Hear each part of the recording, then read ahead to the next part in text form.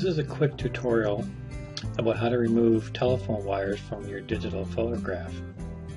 It's a little trick I picked up that I wanted to share with you involving Photoshop CS5 and the healing brush tool. You highlight the spot healing brush tool and come over to where your wire is.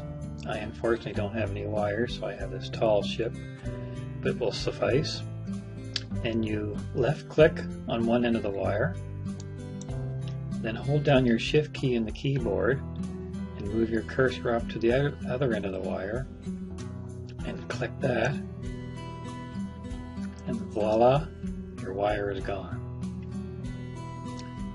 Little cleanup on either end, just left click with your mouse and no wire. Same thing here. Left click, release. Left click again, but hold the shift key down at the same time. Wire is gone. Clean up on each end. And that's it.